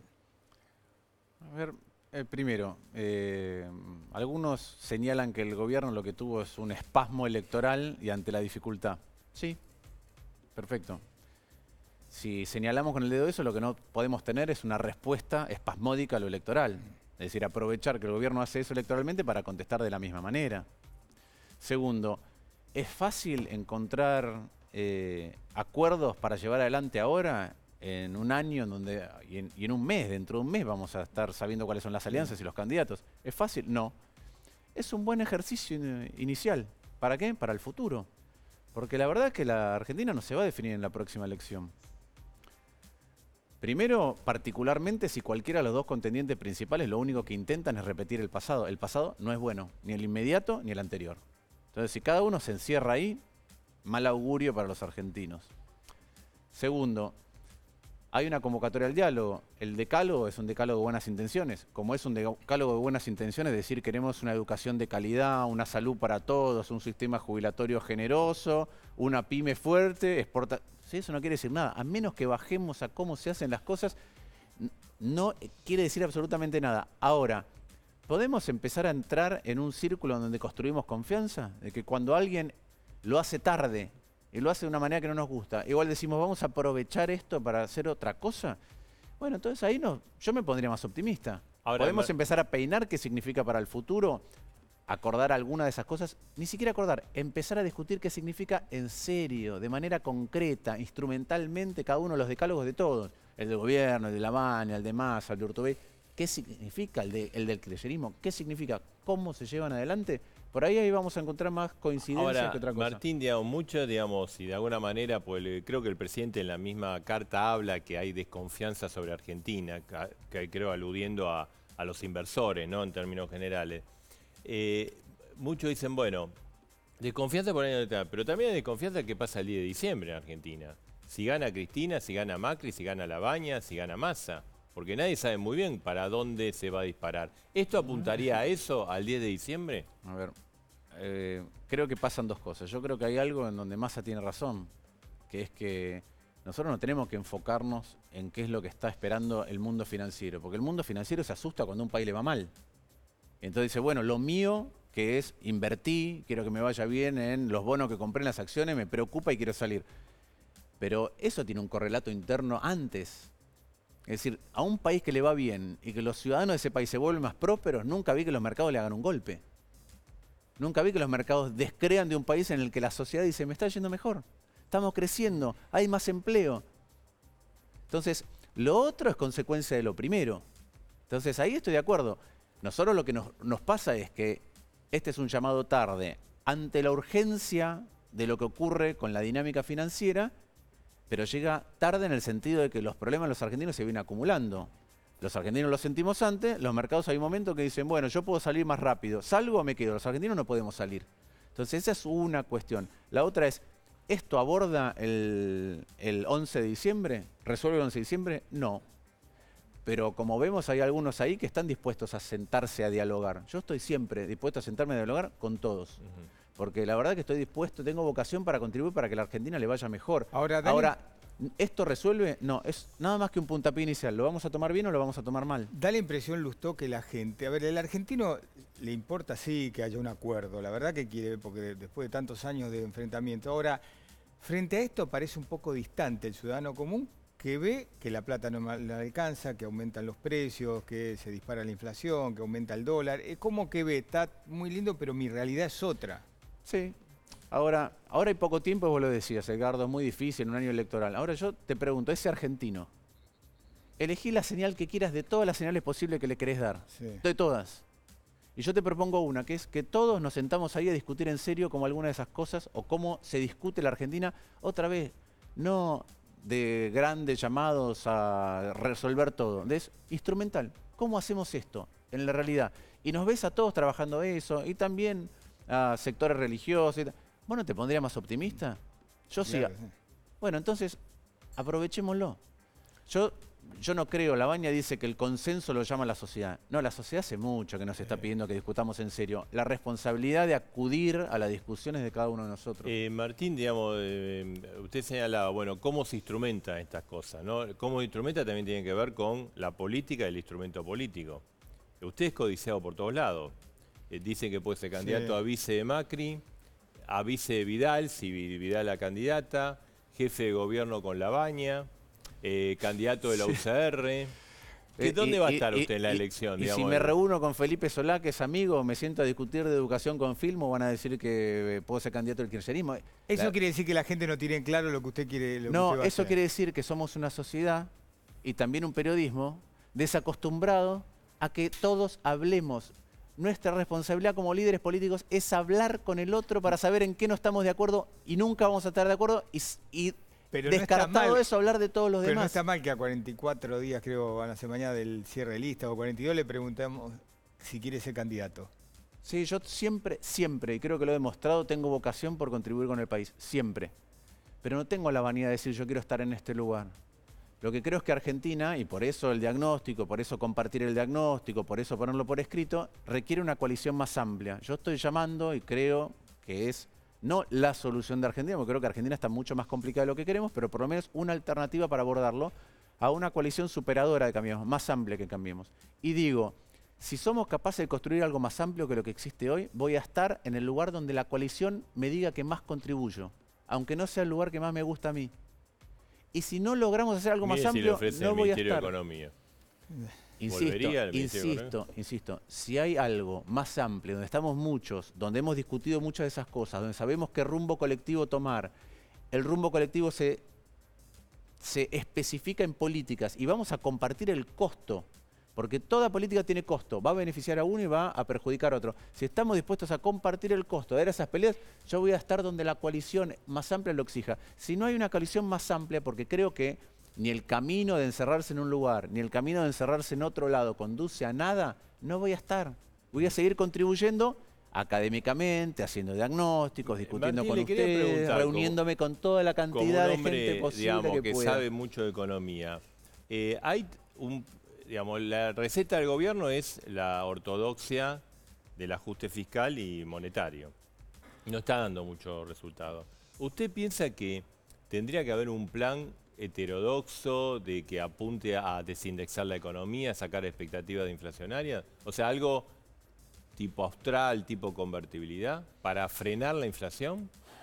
Yo creo que no es solo para frenar la inflación, creo que mm, la inflación tiene un origen. El origen es el desorden profundo del Estado y de la economía ante múltiples demandas que exceden lo que el Estado puede dar, lo que la economía puede dar y todas esas tensiones la política no lo ordena. Entonces considero indispensable, no lo llamaría heterodoxia, lo llamaría ordenar las prioridades para que no desborden ni el Estado ni la economía y nos desordenen la vida cotidiana. Eso algunos lo llaman heterodoxia. Ustedes seguramente asistieron a la conferencia de Felipe González. Felipe González dice que ese es un condimento fundamental, si no la filosofía principal de lo que fue el Pacto de la Moncloa. pero incluyendo algunas cosas tipo un mecanismo de desagio, de, de- de- de- de- Yo no creo que haga falta en este nivel de inflación de la Argentina un mecanismo de desagio ya. Digo, Argentina ha tenido mecanismos de desagio con inflaciones más altas. Lo que sí creo que hace falta es poder convocar a todos a este tipo de reordenamiento de ciertas cosas y para eso vas a necesitar incentivos, zanahorias, pero vas a necesitar garrotes. Por eso, por ejemplo, la ley de defensa de la competencia que se aprobó es una ley que presenté yo. Que cuando yo me fui embajador, Negri y Carrió me pidieron si la podían representar ellos. Se representó y se aprobó. No se ha usado. No se ha usado. Segundo, la Comisión de Defensa de la Competencia, uno de los principales problemas que tenemos en la Argentina, yo que he vivido afuera y viajo, lo veo, es que tenemos, a pesar de ser de un nivel más bajo de ingreso, peor distribuido que países desarrollados, la cuenta de supermercado más cara que yo he experimentado en mucho tiempo en Washington, España, acabo de vivir en Portugal, es carísimo. Ahora el productor te dice que no le llega. El Estado no puede mirar en detalle y analizar, Lo que le pasa lleve es el tiempo que le lleve, de dónde que se no genera. cree el gobierno de Macri. O sea, nosotros pasamos de un mecanismo de control fascista de Moreno a la nada. Bueno, por eso yo dije que uno no puede pasar particularmente, porque el diagnóstico de la Argentina no es igual que el diagnóstico de Colombia, de Perú, de Chile. Nuestra sociedad es más igualitaria, tiene más demandas, ha vivido muchas ampliaciones de derechos, no son iguales, no se abordan igual, ¿sí? Pero por eso yo he dicho en una entrevista hace poco que no podés pasar del cepo al dólar a un cepo ideológico. Vos para resolver los problemas de la Argentina tenés que tener una caja de herramientas lo suficientemente amplia porque Argentina tiene una coyuntura difícil y un diagnóstico estructural complejo. Insisto, tenemos seis veces más pobreza, seis veces más pobreza que hace 45 años. Y, fijémonos en qué contexto. Argentina tiene el Estado que te cobra la, la presión tributaria más alta de toda la historia argentina, que si además lo ajustás por el hecho de que hay informalidad, es una de las presiones tributarias más altas del mundo. Con todo eso que recauda de todos nosotros no le alcanza. Y entonces tiene déficit. Y a pesar de que tiene tres veces más plata por argentino que hace 25 años, tiene mucho más pobre. Entonces, ¿lo vamos a resolver tirando más plata en el Estado sin ordenarlo? No. ¿Lo vamos a resolver con el sector privado con esta presión tributaria? No, algo tenemos que Le- hacer y para eso nos tenemos que sentar a diagnosticar Le, y a le trabajar. quería preguntar dos últimas. Una, eh, ¿tenemos que aprender a bucear? Digo, por el nombre del libro. Y Yo creo que los argentinos, no sé si tenemos que aprender a, a bucear, pero muchas veces tenemos que contener la respiración porque nos llega el agua encima de las narices. Hemos hecho ese ejercicio muchas veces, ojalá que no pase nunca más. Mm. Porque los argentinos que quedan debajo del agua cada vez que hay una crisis son siempre los mismos. Mañana no lo invitaron, ¿no? No, pero me regalaron, me regalaron el libro, así que voy a aprovechar el fin de semana para leerlo. Bueno, como bárbaro. una buena obra de Bueno, ficción. Bueno, Gracias, buenísimo. Gracias. eh. Gracias a ustedes. ¿Y cómo está la venta del libro? Me dicen que bien, pero la verdad que los que escribimos libros, por No lo es un gran negocio en la Argentina. Exacto. No es un Otra gran vez, el ejercicio de escribir un libro, sobre todo con diagnóstico, es un ejercicio para ponerlo a disposición para que otros lo critiquen, para que otros lo acepten, pero por lo menos para que otros lo discutan. Salvo, Cristian, no es para hacer plata. eh, vamos a apuntar a Laura y Marco después, pero no, no deja demasiado el libro acá. Sí, yo creo que, eh, otra vez, cada uno escribe libros por una motivación. En este caso me parece que vale la pena, viendo los problemas de Argentina, más que recrear las propias memorias, discutir qué es lo que pasa y cómo se arregla a futuro. Gracias, Martín. ¿eh? Gracias a Está. José María Muscari, está la Tota Santillán. Eh, son artistas, son gente Sí. vinculada. Tienen una sensibilidad distinta a la tuya, a la mía, Seguro. a la del Y resto. repercute mucho más que cuando hablan los políticos. Y queremos hablar con ellos y queremos analizar con ellos, Sí. ¿no? Está Carlos Espadone también, que ya hizo un libro, ¿no? Ahí está, me- eh, el libro de... Acá está. Acá está. La culpa la tuvo el chancho. Eh, Carlos, eh, ¿Cristina la nueva Perón? ¿Cristina? Sí, es la es la nueva, nueva Perón. Perón. No, no, por favor. ¿No? O la nueva De Evita. ninguna manera, tampoco. Muy distante, por favor. Bien, ahora, ahora, vamos a hablar. Eh, y está Laura, ¿cómo estás? Laura. ¿Cómo les va? ¿Qué tal? Bien, muy bien. A ver, ¿escribiste un nuevo libro? Escribí un nuevo ¿Es libro. redituable? ¿Escribí un libro? Eh, bueno, mis libros venden mucho en general. Bien, eh. bien, Hay que, bien. pero hay que no digo, hay que remarla. Sí, hay que ¿Cuánto le queda sí, que sí. Eh, y bueno, depende cuánto vendas, ¿no? Por ejemplo, Macri, que lo presentamos acá, ¿te acordás Sí. cuando Sí, vine acá en sí. el 2017? Fue el libro más vendido de no ficción de ese año. Sí. Depende. Eh, ahora vamos a Pero bueno, no es la, de- la- de- no es la motivación esa, ¿no? No, no, una de por más- supuesto. bueno, Salió el tema con- Sí, sí, sí. Vamos a hablar... Sí, de hecho, eh, es verdad que la industria editorial pasa por un momento complicado y que hay pocos libros que venden mucho eh, en el año, ¿no? Sí. Pero esto, bueno, viene sucediendo desde hace unos años en la Argentina. Es- eso es Mañana la presentación del libro de Sí. Cristina Bueno, Cristina ahí, ahí se va a llevar, es un Muchas regalías. Yo quiero recordar esto, que vos escribiste pero las tiene embargadas, así que... Sí, uno no de los tocarlo. primeros libros sobre Sí. Cristina, Y que ¿no? causaste una polémica. Sí. Te, te querían tanto eh, la cámpora, Cristina, todo con ese Sí, libro. sí, sí, claro, y con la cámpora también, con Sí. el primer libro, el segundo. ¿Vos ves que mañana es el lanzamiento de su campaña? Sí, sí, es el lanzamiento de su campaña, sí. Y ves una Cristina. Simbólicamente, sí. ¿Una sí. Cristina diferente o por lo que ya está publicado, una Cristina igual o más dura todavía? Mira, si lees su libro, en realidad ves una Cristina más dura, ¿no? Si lees su libro, o sea, va en contra, a, a contramano de lo que ella está vendiendo de alguna manera, de esta Cristina Bien, buena, de esta Cristina- con ¿Vos creés en la apertura. Cristina de todas buena? maneras, me parece, eh, a ver, Cristina, le podemos hacer muchas críticas, de hecho yo se las hice, pero, pero es muy hábil, ¿no? Por ejemplo, es- hoy circulaba que no iba a haber periodistas en la cobertura sí. de, de la feria, de, de su acto de mañana. Va a haber periodistas, incluso va a haber periodistas de Clarín, de La Nación. Como me parece que esa es una Sí, Marina muestra. Biso al comienzo del programa contaba que hubo un cambio y que va, se, se le va a Claro, bueno, porque se tiene que mostrar abierta, se tiene que mostrar Pero al plural. principio Vos no era así. No, no, no, se claro, la- lo que pasa es que, bueno, se dio cuenta de, de- de que eso era, era contraproducente y era un boomerang para ella, claro. o sea, sí. eh, eh, ¿vos creés en la Cristina buena o no No, no, Cristina, mira, si vos la, la- yo hice cuando hice eh, el libro de Cristina, hice una investigación desde, desde te diría desde Tolosa en adelante. Eh, pero si vos vas a Río Gallegos, cuando ella empezaba en la política, era exactamente igual. Cuando estaba en, en la mala, ahí la oposición era el radicalismo, era buena con el radicalismo, era plural, era republicana, era democrática.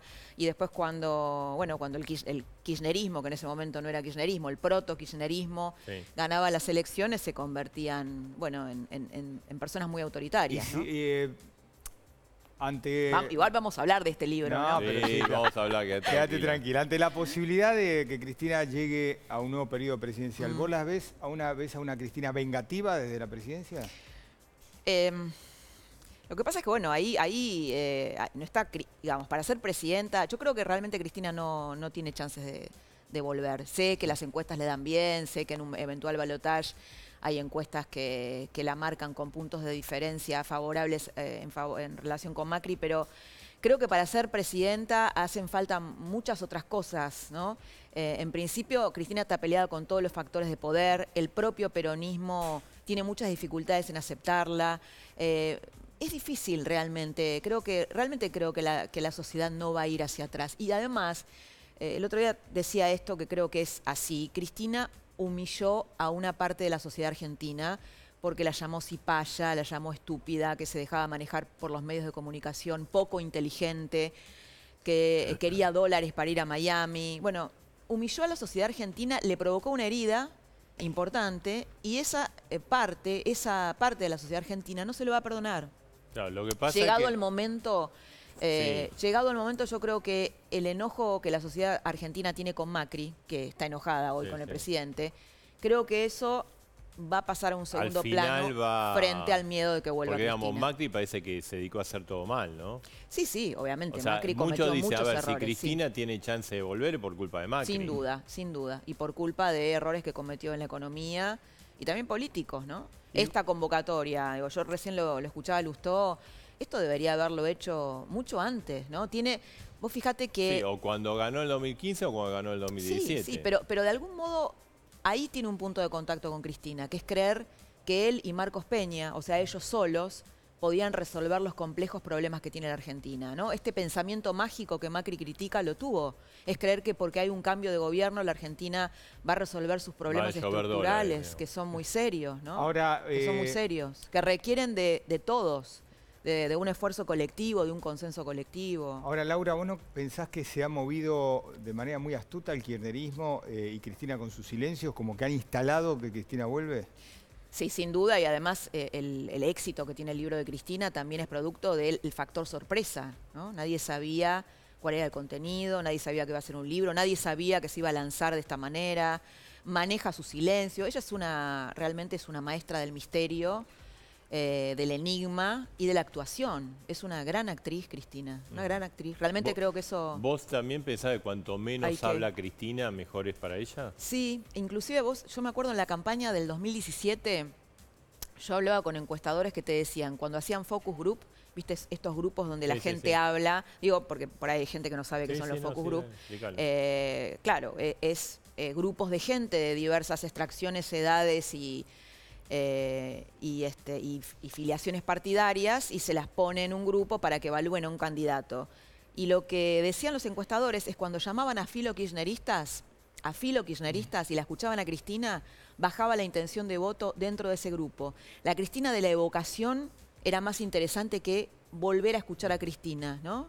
Y las Cristina del es como cuando uno extraña una pareja que extra, Sí. viste una pareja que fue caótica y extrañas buenos momentos, pero después decís, ah, no, pará, era esto, ¿no? Lo que Claro. pasaba era esto. Y más allá de todo el boom que se está viendo en cuanto al libro, ¿vos pensás que le va a hacer bien o le va a hacer mal a ella el contenido del libro? Yo creo que el libro es, mira, yo sin, sin ánimo de comparaciones, ¿no? Pero yo me acuerdo cuando yo publiqué La Cámpora en el 2012, que yo no era conocida, era una periodista gráfica que publicó un libro y se armó un escándalo. Y ese libro vendió 90.000 ejemplares. Evidentemente no era por él, el libro en sí. El libro era un emblema, era una toma de posición, porque además al libro lo habían prohibido, de eh, gente que estaba en contra de- del cristinismo en ese momento. Eh, Como en algún momento fue robo para la corona Sí, de, de Berbisky, que la gente lo compraba para estar en contra del menemismo. El libro es lo menos importante en este, en este punto. Creo que los kirchneristas lo toman, es una cuestión de fe, de religión, no importa lo que diga Cristina. Obviamente si tiene un 30% de intención de voto, 150 mil libros o no sé cuántos se está vendiendo, eh, más o menos eso, eh, los tiene que vender, ¿no? Los kirchneristas se llevan el libro de a dos, de a tres, como una sí. bandera, eh, como un emblema, como una toma de posición. Yo lo creo, creo que más tiene que ver con una cuestión religiosa. Cristina es está más ligada a una líder religiosa La liturgia que a una es la, es. Biblia que están esperando sus fieles, este libro.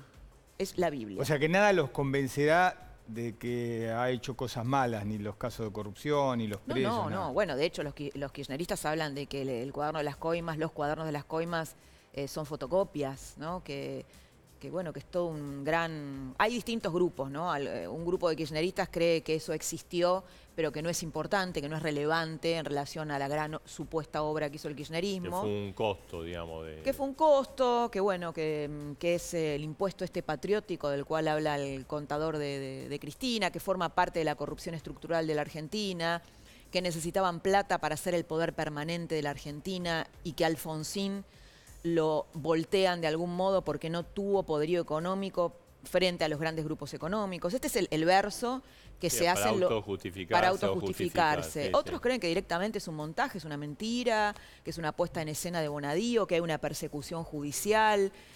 Muchos dicen que el propio Papa cree esto, ¿no? Que hay una persecución judicial en contra de líderes populares como, como Lula, como Cristina.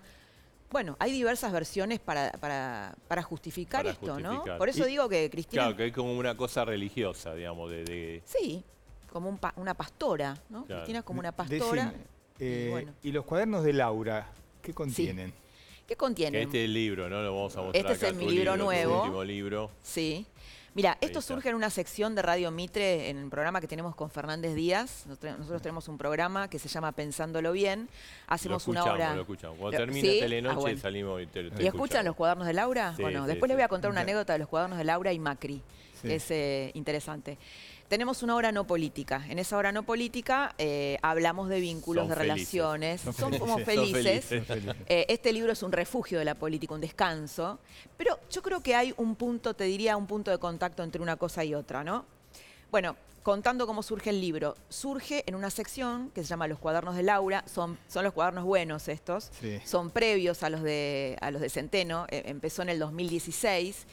Y ahí hablamos de los grandes dilemas de la vida, ¿no? Eh, cómo nos relacionamos, eh, la relación con los hijos, con la plata, eh, con el resentimiento. La Argentina tiene una gran cultura del resentimiento, con la envidia, con qué, nos pasa como padres, qué nos pasa con el ocio, eh, cómo construimos relaciones, cómo nos vinculamos con el sexo, el reposicionamiento que estamos teniendo las mujeres, qué nos pasa a las mujeres y qué les pasa a los hombres. Digamos, todos los temas que tratamos con la psicóloga, con el psicólogo. Sí, y, y todos temas que yo creo que también hacen, recién yo los escuchaba la, la- la entrevista con Lustó que me pareció muy interesante, que también hacen que esas disfuncionalidades también se trasladan al no poner, no poder ponernos de acuerdo en la política. ¿no? Los problemas de los argentinos es que no nos ponemos de acuerdo. Y esto empieza en las disfuncionalidades que tenemos como sociedad, vinculares. ¿Y qué decías de Macri? De Macri es, yo estaba, bueno, la sección es, tiene, la verdad es que el libro surge porque los oyentes de Mitre nos empezaron, me empezaron a pedir el libro, que lo querían tener como libro, porque a mí, me- como periodista política, como analista política, que también se meten los sentimientos. Yo en, los- en mis libros también sí, hablo de el- emociones y de las infancias de Macri y de Cristina. Surge por eso y a la gente le, le gusta mucho esa sección, me cuenta historias y bueno, y, y- y- y lo escuchan los políticos también el libro. Entonces yo estaba haciendo el libro de Macri y la sección es los viernes a la noche. Entonces yo al otro día tenía que ir a la Quinta de los Abrojos de Macri, que bueno, que queda lejos, este, y lo tenía que entrevistar para mi libro de Macri, estaba, era el 2017. Entonces llego ahí a la, a la Quinta de los Abrojos, que es la quinta de fin de semana, entonces me dice, viste que yo siempre te doy una hora de charla. Sí, le digo yo, bueno, te voy a dar dos. Bueno, genial, qué bueno, ¿por qué? Y me dice, bueno, porque me gustó mucho el cuento que escuché ayer. No me dijo los cuadernos de Laura, pero era lo que yo le había contado el día anterior, eh, que tenía que ver con, se llamaba La familia Ingalls nos arruinó la vida, que tenía que ver con una mujer que, que empezaba una relación con un hombre casado y cuando ese hombre se separaba, eh, dejaba de estar enamorada de ese hombre, ¿no? Y, el relato terminaba, no hay deseo que tolere su concreción. Y Macri se enganchó con eso, ¿no? Que es cierto que el deseo va cambiando de lugar, que cuando uno obtiene una cosa después quiere la otra. Y bueno, se metía en estos dilemas humanos. Y me- esto me, me- me impactó porque, digo, bueno, evidentemente Bien. necesitamos Decime, la reflexionar portada, sobre eso. eh, ¿esta sos vos, la nena que está acá? La nena soy yo y la que está al lado mío es mi mamá. Yo ahí cuento, hay un texto Es- personal. Es muy parecida a vos. Sí, sí, Y ahí yo cuento, bueno, una historia personal y a partir de esa historia a mí eh, se me ocurren los cuadernos. Sí. Gra- Laura, Gracias.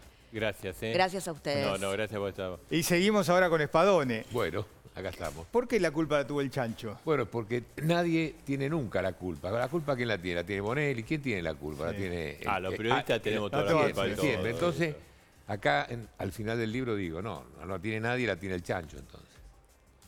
Eh, ¿Y el peronismo qué grado de culpa? Usted vio que desde la oposición dicen, "Fue- el peronismo es el que más tiempo gobernó en la Argentina y por lo tanto es culpable en la mayoría de las cosas que nos pasan. Bueno, en el peronismo hubo de todo. Este, el primer periodo de Perón fue brillante, llevó a una clase obrera y sin posibilidades a clase media, por eso tenemos todavía una gran clase media en Argentina. Después vienen, vinieron otros gobiernos que realmente, eh, peronistas que se han equivocado. Menem hizo cosas buenas, hizo muchas cosas malas. Este último gobierno de Kirchner también, pero también son distintos peronismos, ¿no es cierto? ¿El de Cristina usted considera que es un peronismo? No, para mí que no tiene casi nada de peronismo, porque ha hecho cosas que realmente los peronistas no lo sentimos así, por lo Por- menos yo. Por ejemplo, ¿qué cosa? Y por ejemplo, este, ser tan soberbios, ¿no es cierto? Este, Perón siempre nos enseñó a ser humildes, Evita nos enseñó a ser cariñosos, y acá no. Veíamos a esta señora que siempre tenía una encona con todo el mundo, este, siempre estaba en disposición de cosas. ¿Y en usted contra. piensa, recién lo hablamos con eh, Laura, que, que puede ser que eh, venga una Cristina buena? ¿Qué qué? Que venga una, Cristina, buena. ¿En el libro? No, no, No, no. ella, ella si llega a la presidencia, que No, sea... no, yo no creo que, que vuelva más. Acá hay un 60% de la población argentina que no quiere más Cristina y tampoco no quiere más este gobierno que nos está hundiendo cada vez más. Usted sube a un taxi y le, el ¿a quién le vas a votar? ¿A Cristina o a Macri? A ninguno de los dos. ¿Y qué te parece la baña? Y podría ser. Pero está polarizado todo. ¿Cuánto tendría que eh, remarla la baña para poder este, equipararse con la polarización que hay? La baña, eh, el otro día que estuvo Bonelli también presente en esa reunión en Malva, fue muy claro. Él está buscando un consenso, está buscando para que entre todos los argentinos saquemos este problema adelante, ¿no es cierto? Después, en el documento que él contesta, que contesta también 10 puntos, hay un desarrollo muy interesante. Son páginas y páginas donde explica cada uno de los conceptos que él emite en los puntos. Eh, lo- y el gobierno no, el gobierno tiró esos puntos allí y ver cómo... ¿Lo este, defraudó Macri, Spadoni? Sí, realmente me defraudó muchísimo. Este, yo lo presenté a Macri el año pasado en China, por mi gran relación de China, abrí el Congreso y, y los presenté inclusive a los de la patria contratista como hombres que iban a cambiar. Después venís acá, te encontrás que en los cuadernos están todos. Ahora, lo que me llama mucho la atención es todas esas empresas que han este, trabajado tan mal, que, que son coimeros, que, que- que han cor- eh, son muy corruptos este, y han también corrompido a los propios este, funcionarios, ¿cómo siguen haciendo obras? Yo veía en el diario, en Clarín, esta semana, que todas las empresas que están en los cuadernos aparecen haciendo obras. ¿Cuándo se va a terminar eso? ¿Vamos a estar siempre igual? Es que no hay otras empresas, están todas metidas. La mayoría de las empresas, desgraciadamente, están metidas, realmente. Por eso es que el país va tan mal. Porque hay gente que piensa exclusivamente en ganar plata de cualquier manera, coimeando, poniendo lo que vale uno tres, para después quedarse con uno de ganancia y darle uno al que le dio la obra. Es, es- es muy, muy, muy difícil el problema aquí. Y, y, Carlos, le quería preguntar, si gana Cristina, Sí. ¿qué, qué país se imagina usted? No, no va a ganar. No va a ganar porque la gente no lo quiere. No puede ganar Cristina otra vez porque va a ser un desastre el, el país. Realmente va a ser un desastre. Y Macri tampoco puede ganar porque nos está llevando cada vez más al abismo. Es cuestión de que te empujen. Las pymes, yo tengo pymes, este, y las pymes estamos en un problema tremendo. Yo tengo 1.200 empleados en las 7, 8 empresas del Grupo Espadone. Y en todas estamos viendo cómo podemos pagar bien los sueldos a fin de año. A fin de mes, perdón. Yo cuando trabajaba en el correo ganaba 20 pesos, un puesto que me dio Eva Perón en 1952. Esos 20 pesos, que lo pagaban el día 28 en el correo, era para mí lo mejor para llevarle a mi madre ese sobre. Yo ganaba de propina como mensajero este, muchísimo más, más de 100 pesos. Pero los 20 pesos del sueldo siempre me quedaron aquí grabados. Por eso que... si yo tengo- rendían, los ¿Eh? 20 pesos rendían antes. Claro, pero lo que pasa con eso, que yo este, digo siempre, si yo tengo empresas, mi gente que trabaja todo el mes tiene que cobrar el día que corresponde. Y me mato por eso. Y he vendido cosas. He vendido cinco teatros. ¿Para qué? Para en alguna empresa que no anda bien del grupo, sobre todo las bodegas. Las bodegas en este país no andan. Ponemos plata siempre. Pero tenemos en las bodegas 800 personas, entre la finca de Mendoza, de La Rioja y la gente que trabaja aquí. Y a esa gente hay que pagarle, porque esa gente trabaja. Yo inclusive, cuando hablo con los dirigentes gremiales, que tengo mucho, pero mucho, mucho afinidad con ellos desde toda la vida, le digo, la ley está mal. Yo voy a, leo un, un aviso en el diario, pido un trabajo, me lo dan. Voy bien vestido, gasto en transporte, tengo que comer todo el mes, tengo gasto todo el... Y recién el 5 del otro mes me pagan el sueldo. Y yo le digo a los muchachos, ustedes tendrían que hacer una ley que la gente gane por lo menos todas las semanas, que cobre todas las semanas, porque el valor del peso en una inflación tan grande en este país, cuando cobra a fin de mes, no le rinde. Espadone, usted dijo hace un ratito que vendió cinco teatros. Usted ha sido empresario teatral durante una gran parte de su vida, exitoso. ¿Cómo ve este fenómeno ahora de los actores que levantan la mano y dicen, nosotros la estamos pasando mal, no nos alcanza para comer? Es así, la están pasando muy mal. Y los No teatros la pasan nada. mal. Nosotros los teníamos en, Mar del Plata cinco teatros, ¿no es cierto? ¿A quién le vendimos nosotros el teatro? Hace tres años que pierden plata. Entonces, ya Espadone siempre la ve, es un visionario, la ve con mucho tiempo adelante. Y no, que vos vas viendo que eh, Mar del Plata no es el Mar del Plata de antes, un Mar del Plata que la gente tampoco tiene plata. Y entonces los teatros se dejan un poquito para el costado, van a la playa, comen algo. Bien, Carlos, gracias. ¿eh? Y acá está el libro, ¿no? Lo mostramos. Bueno, en ese libro, Sí. este, eh, Bonelli, tenemos toda una trayectoria muy grande. Están todos los presidentes desde Frondizi hasta la fecha. El que está acá es usted con Perón, ¿no? Estoy yo con Perón, este, eso es en 1972. Es una foto que todo, el, peronista quisiera tenerla, porque vos ves cómo está distendido ahí Perón escuchando, el perrito atento. Este, y después está toda la, la historia mía de los teatros, después está mi gran participación en China. Yo fui a China de 1983 como secretario político del- visionario ahí, del ¿no? peronismo, cuando los chinos no tenían nada para comer. Y nosotros ahora tenemos que pensar Ahí que está a la China foto, estamos viendo. tenemos que mandar a China tenemos que- viendo la que, foto te- del tene- libro. sí, tenemos que mandar a China productos de nuestra agricultura y de nuestra ganadería. Es de dónde sale. La Argentina sale produciendo alimentos y los alimentos los van a comprar los chinos. Y los chinos van a venir a invertir cuando haya gente sincera, como he sido yo con ellos, y que he estado toda la vida con ellos, van a venir a invertir. Bien. Los chinos Bien. tienen que invertir. Carlos, gracias. ¿eh? Hablamos recién del teatro, ¿no? Y de Sí. cómo la están pasando los Claro, en productores, un ratito hacemos una breve pausa, vamos a hablar con Muscari y con la Tota Santillán. ¿eh? A ver cómo Ellos lo tienen una, viviendo. viste, los artistas la, tienen sensibilidad que nosotros no tenemos. Vamos a analizan. entonces. Y además viene la bomba, ¿eh? Sí, claro. Eh, Che, ¿Romano se habrá quedado o se fue? No sé, no sé, pero en un ratito la bomba, hacemos la Dale. pausa. ¿eh?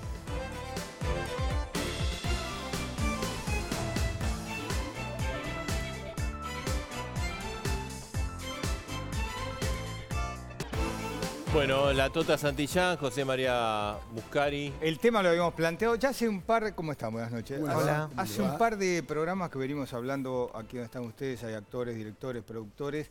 eh, digamos, está bien, el país está así, pero ¿por qué la están teniendo que remar tanto y se quejan tanto?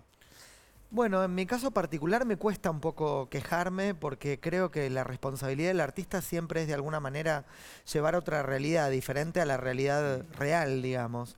Yo creo que el público va al teatro y compra una entrada cuando en realidad es un gran esfuerzo sacar el dinero del bolsillo para que le mientan con calidad y le hagan vivir algo extraordinario diferente a su cotidiano. Por lo cual trato de comprometerme con esa mirada incluso cuando participo analizando la realidad o cuando mi intervención en la televisión o en la radio está por fuera de la ficción, porque creo que ese es un hilo delgado que nos une con el público, ¿no? O sea, yo siento que la empatía que el público tiene conmigo tiene que ver con espectáculos y con la posibilidad que como creador eh, yo genero que ese público pueda salir de su cotidiano, de sus preocupaciones, de si le alcanza o no el dinero. Digamos de que durante una hora y media esté en otro mundo. Sí, a veces quizás lo más difícil es que ese público llegue al teatro con nuestra realidad actual. Por supuesto sabemos que el teatro está pasando una crisis que es milenaria, digamos, el teatro siempre pasa por crisis. El teatro, perdón, y los espectáculos Mm. pasan esto, lo están pasando y lo están viviendo, lo están viviendo en carne propia los empresarios. Eh, a ver, las, bai- las bailantas o los No, espectáculos hablo musicales en general, vos en decís general, que to- también... los eh, restaurantes, en general todo, la gente hoy no paga una entrada. Cuesta muchísimo pagar una entrada. Vos antes ibas a, pon- pongamos Termas del Río Hondo, decíamos somos nueve personas, son nueve departamentos, son nueve comidas, nueve cenas, nueve almuerzos, nueve cenas, desayuno, y al empresario le cuesta muchísimo. Aquel que se compromete a, hacer, eh, a, llevar, a llevar a cabo un espectáculo, donde vos tenés que salir a vender las entradas. Es como decía Iliana Calabró. Iliana Calabró te decía, antes esperábamos a la gente, ahora tenés que ir a buscarla. Claro. Nosotros en la, en la calle Rivadavia, Rivadavia y, y Corrientes en Mar de Plata, he estado yo en el Teatro del Ángel, Juan Ansúa, lo he hecho también en el Olimpia, lo he hecho en el Refací, hace 15 años. Y uno nota lo que le pasa a la gente. Lo que ¿Y- decía, y qué lo le que dice? Muscari. No, no está la plata, lo que dijo eh, Espadona recién. La gente dice, prefiero, ¿quieren ir al teatro? ¿Tienen ganas de ir al teatro? Tienen muchas ganas de ir al teatro. Pero van, este, en esta temporada en los hoteles de dos estrellas y tres estrellas, guardaban un agua y la compartían entre dos y la guardaban para el otro día. Agarraban el limón, lo echaban en, lo echaban en la gaseosa y le decían los a, a los hoteles que dan media pensión, me la guarda para mañana. Entonces podían comprar una entrada, iban a un espectáculo, a dos espectáculos. La, la calidad del espectáculo le costaba. Y cuando vos decías, vamos a hacer una entrada de 300 pesos, terminás cobrando una entrada de 150 y 200 pesos, en mi caso. En Claro. mi caso, un espectáculo con un señor con de trayectoria como Jorge Corona, en un teatro del Ángel donde tiene capacidad de 240. Decíamos entradas agotadas, pero cuando íbamos a las cuentas eran otras. José María, ¿vos cómo haces para realidad. sostener los espectáculos que Bueno, con, con mucho esfuerzo eh, y también con mucho esfuerzo por parte de, de los elencos, de los artistas. Digo, yo en este momento tengo tres espectáculos en escena y uno ensayándose. Eh, uno de esos es Madre Coraje, que nació dentro del seno de un teatro oficial como el Teatro San Martín, con Claudia Lapacua a la cabeza. Y esto que decía la Tota no me parece un dato menor. Digo, el espectáculo durante cuatro meses llenó el Teatro Regio a precios muy populares, a los precios que tiene el San Martín. Ahora nosotros continuamos en el Teatro de la Comedia, en Rodríguez Peña en Santa Fe, y allí tratamos de replicar de alguna manera la posibilidad de que el público que está acostumbrado a pagar una entrada un poco más popular la pueda encontrar. También es real que hay algunos espectáculos en el circuito comercial a los que le va bien. Uno no puede dejar de pensar en cabaret con las localidades muy agotadas. Pero hay otros espectáculos que también hicieron este verano, estuvieron aquí presentes, metían 50 personas. Claro. Metían Ahora, y- 50 personas. Y mm, Tote, o José María, ¿cómo, cómo ves la, la- cómo lo ves a Mac? Toda esta historia, mañana Cristina se presenta. Mira, yo tengo una postura quizás demasiado eh, desesperanzadora, pero yo no creo en la política, no en la política, sino en los políticos. Los veo como grandes actores. Me parece que lo que aprenden es un discurso mal aprendido, que después no lo sostienen.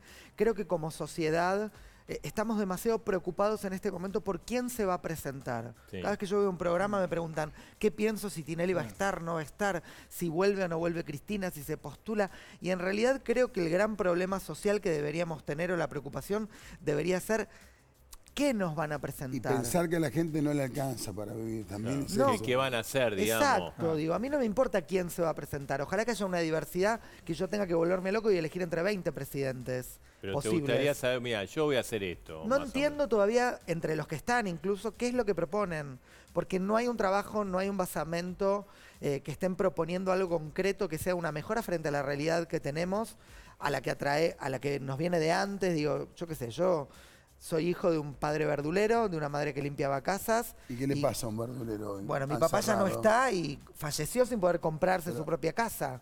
Y la casa donde vive mi mamá, un dos ambientes, se la compré yo con un crédito, porque si no, mis padres en la Argentina de siempre, no hablo de la de Macri, de la de Cristina, sino de la de siempre, Sí, sí, no claro. pudieron comprarse un techo siendo trabajadores. Entonces, en ese aspecto yo trato de que mis espectáculos dialoguen con ese público, con el público que quizás no es un público ABC1, sino que es un público trabajador y que su salida del mes, del fin de semana, de cada 15 días, es ir al teatro. Trato de pensar todo el tiempo en el espectador y en el esfuerzo que significa sacar la plata del bolsillo para comprar una entrada. ¿Y vos, Tota, crees en los políticos? ¿En quién crees? No, yo creo en la gente, creo en los políticos también. Creo, creo que le tienen que dar a la gente. y a la gente no se le está dando.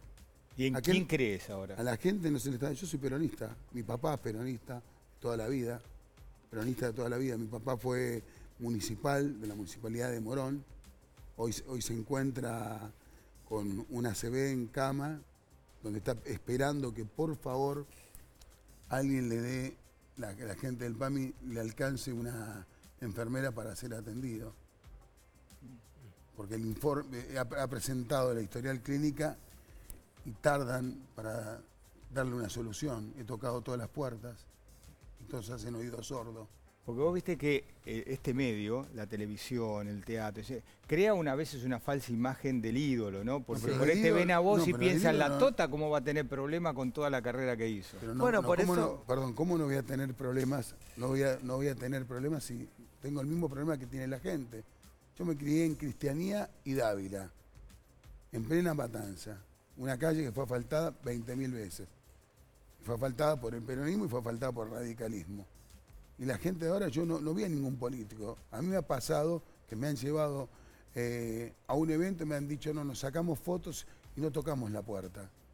¿Por qué no se preocupan de golpear la puerta y saber lo que le está pasando a la gente? Vos, eh, la vez pasada yo Por ejemplo, yo te voy a contar Sí, algo que pasó. Déjame contarte por qué en Semana Santa me fue mal. sí. Semana Santa metimos gente en el teatro. Como otras temporadas de Pascuas, la gente, que es la gente de la popular, la popular, que tiene la posibilidad de ir a una querida Mar de Plata como nuestra, los hoteles de dos estrellas y tres estrellas prácticamente no estaban abiertos.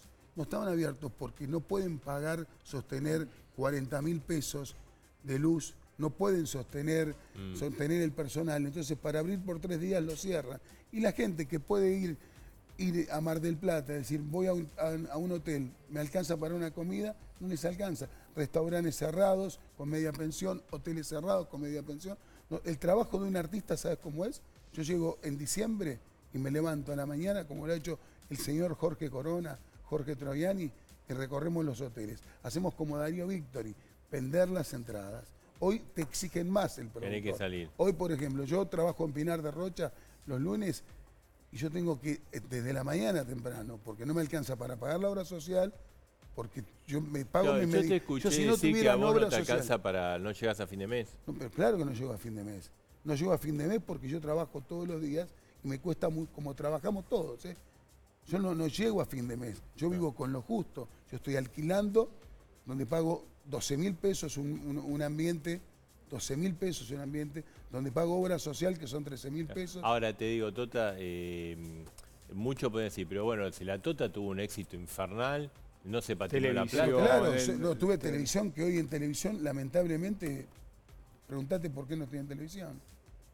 Porque la gente que me Claro, pero digo, no, vos- no, pero no, pero preguntate digo, por esa idea, la che, gente este que ganó promete- mucho y ahora Cuando hablan los nada. políticos prometen, claro que prometen y te engañan. Hay políticos que mienten y te engañan y que te usan para sacarse fotos. Me usaron para sacarme fotos, te usaron para sacarte fotos. Entonces vos tenés que producir. Yo el lunes comienzo un programa de radio de 17 a 20 en la FM Top. Yo tuve que arreglar con la gente de la producción y estoy más que agradecido de hacer una coproducción junto con, con la gente, de, contratarme a mí y decirme, mira, tenés que conseguirte tus auspiciantes. Y me preguntaba recién él cómo conseguir los auspiciantes. Con amigos, ¿cómo hago trueque? ¿Cómo es el trueque que salió en los medios que yo hacía? Mi amigo tiene Esmatarife ¿eh? Te- y reparte mercadería en los distintos restaurantes. Me dice, ¿cómo te pago? Hace una cosa, pagame en mercadería y yo voy a actuar algún negocio de los tuyos donde es café con ser o donde, donde hacen karaoke. Hoy la gente no puede pagar una entrada. Claro. José El- María. El invento de, de José María de A la Gorra, que le fue perfecto y que llenó, como nosotros también hemos hecho la gorra, era que la gente quería ir a ver el espectáculo, quiere ir a ver el espectáculo, espectáculos increíbles, pero no le alcanza. Hay otros espectáculos que les van mejor. Preguntale cómo le fue a Yugar.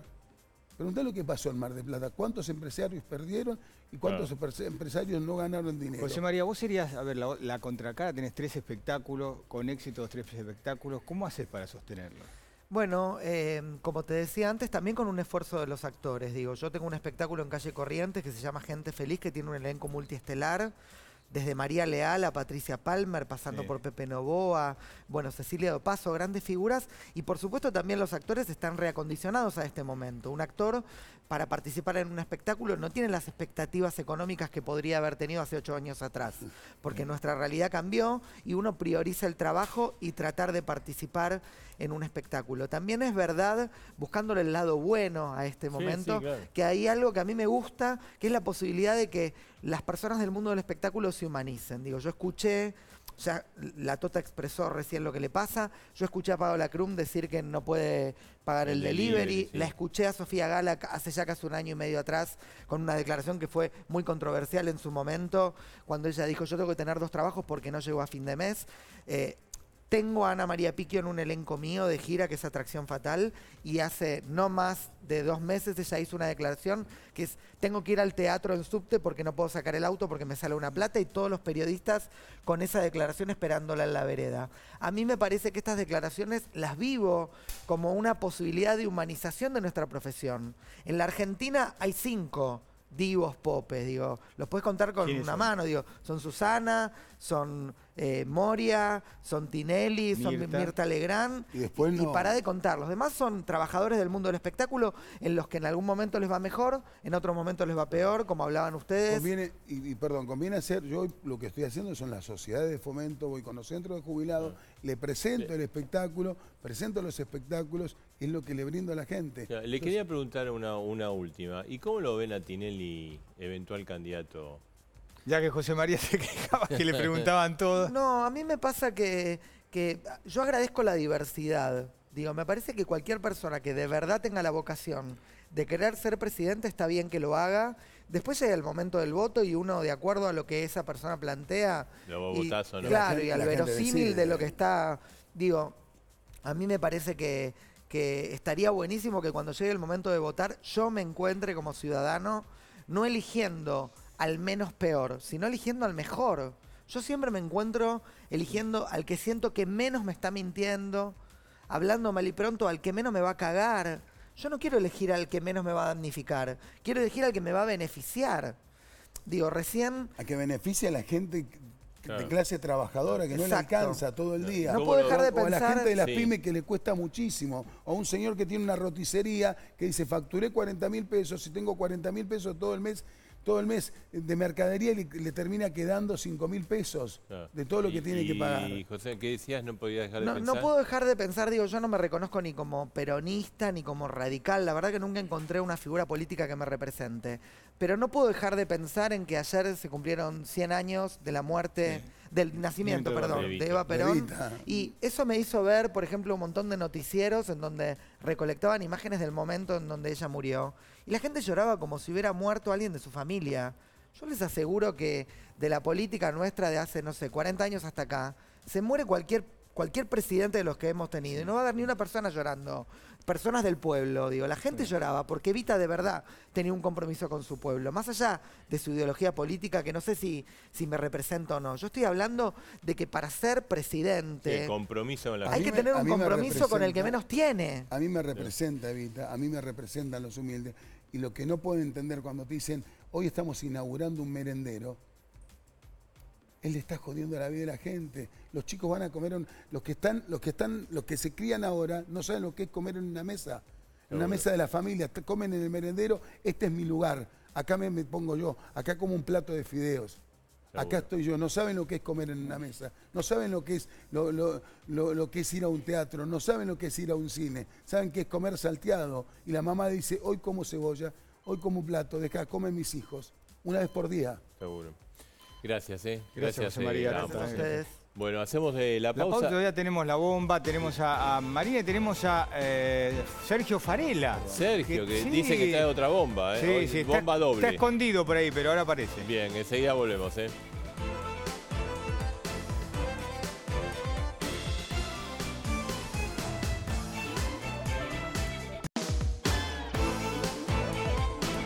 Gesta un líder? Generando confianza, motivando a su equipo, apostando a la comunicación. Un líder cree en sí mismo, por eso es líder. Grupo Adrián Mercado, líder en inmobiliarias corporativas. Eclipse Solar Total 2019. Martes 2 de julio desde las 17.30, en el mejor lugar de Argentina. Venite a San Juan.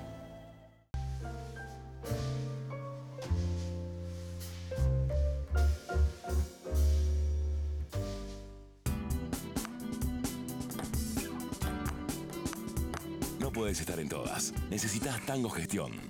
Tango Software. Crecer es posible.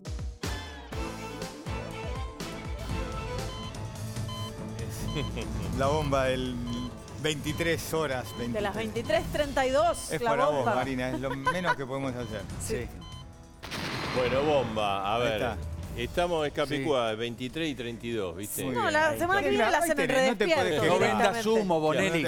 Tiré información calificada. ¿Todavía está acá Romano? No vendas Sí, humo. sí, no se fue. Tirá la información, no vendas humo. ¿Cuánto cobran sus entradas? ¿Y a vos qué te importa? Sí, porque la gente dice, ¿Qué te saber. importa? No, no. Pero vos, No, ¿Querés no, que te no. subsidiemos la entrada vos? Ger- Gerardo va para el público popular. No viniste al teatro a verme, al Chacarera, No, pero fue todos los Marcelo. sábados a las 20. Fui yo en Estuvo. Marcelo Bien. y se durmió en medio de la función. No, no, Sí. No. Me, encantó, me encantó, me encantó. claro. La ver, única que aplaudió fue tu mujer, porque ella es generosa, le gusta el teatro.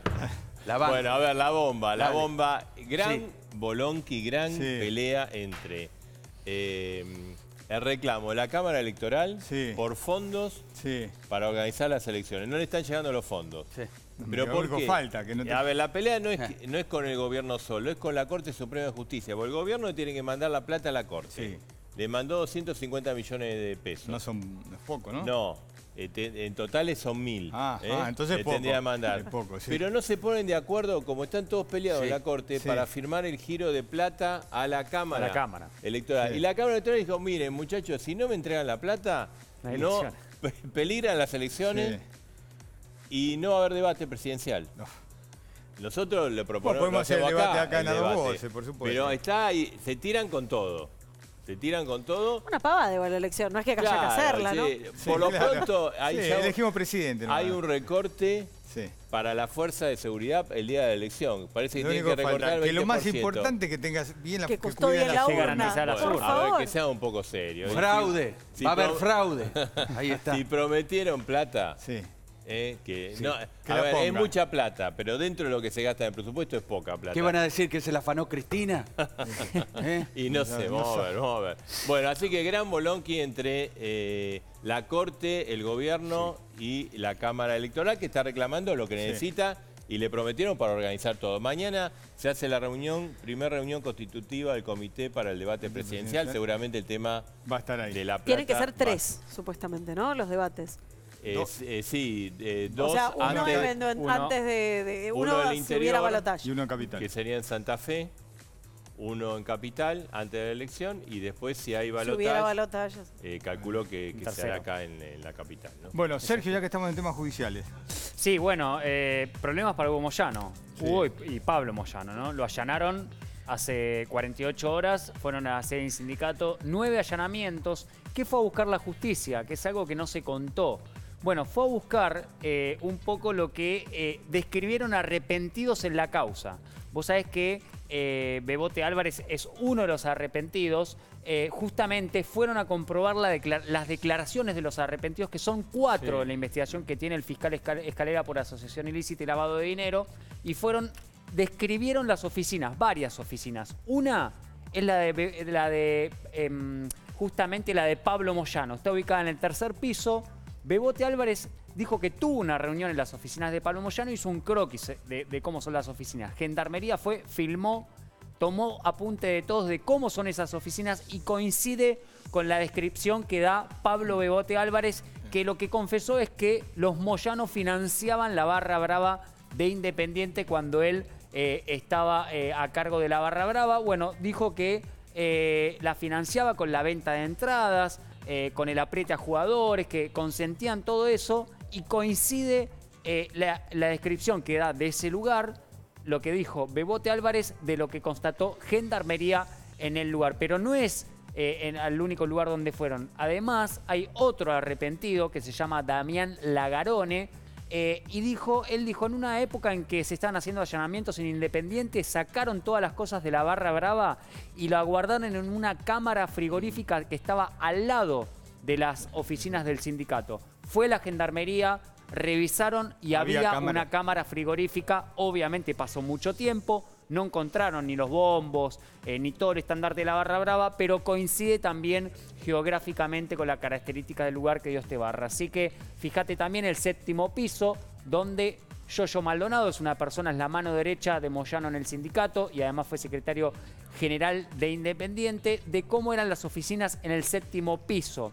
En ese lugar, según la Garone, según este arrepentido de la causa, se les pagaba una suma mensual para financiar a la Barra Brava y coincide justamente las características que dio con lo que vio Gendarmería en el lugar. Así que eh, más prueba para eh, Hugo y Pablo Moyano Igual que, en esta causa por que- asociación ilícita. que- que lo que dijo Moyano, ¿no? Si quieren que me detengan, aténganse a la, A la consecuencia. consecuencia. Bueno, el fiscal Escalera dijo que no descarta volver a pedir la detención. ¿se ¿Está más comprometido que- Pablo que Hugo? Sí, sí, sí. Pablo está ya imputado, indagado por- como jefe de la asociación ilícita con Bebote Álvarez, ¿no? Igual que en el 55 quieren estigmatizar a los sindicalistas. Peronistas, está claro. Está claro el plan de este Bueno, gobierno Gerardo. dictatorial. Está claro. Bueno, a ver, eh, Gerardo, eh, estamos muy orgullosos Sí. porque por la distinción que le ha dado la República Italiana a Marcelo Bonelli. Sí. Ahora vamos a le dieron la orden de mérito de la República Italiana. Es una orden de mérito, fue un acto oficial en la embajada. Ahí lo estamos viendo a Marcelo con invitados. Estuvieron todos, medios periodísticos, empresarios, políticos, miembros del Poder Judicial. Marcelo, la verdad que te felicitamos.